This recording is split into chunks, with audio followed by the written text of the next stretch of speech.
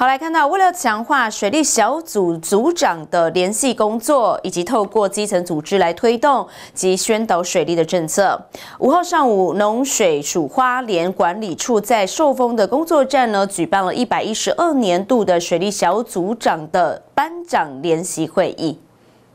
农水署花莲管理处寿丰工作站举办一百一十二年度水利小组长暨班长联席会议，针对辖内灌溉用水及设施改善进行讨论沟通。在会议中，管理处并说明了相关的灌溉设施申请的方式以及规范，同时也听取了寿丰地区小组长以及班长的建议，一起聆听。哦，我们在地小组长对于我们农田水利灌溉的一个建言。好，那会中也提到了，呃，那在受风地区一些圳路更新改善的一个建议，好，以及平常清淤管理维护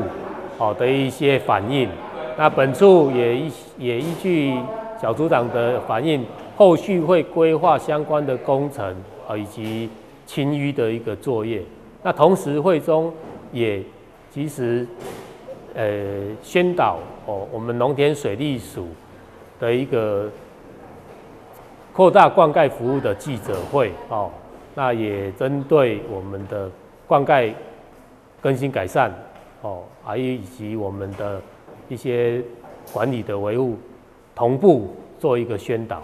各小组长建议，除了现场及时的回应之外，并详细的记录做书面的答复，期盼借由深耕的基层座谈，让管理处的业务更为精进。记者林杰收封箱采访报道。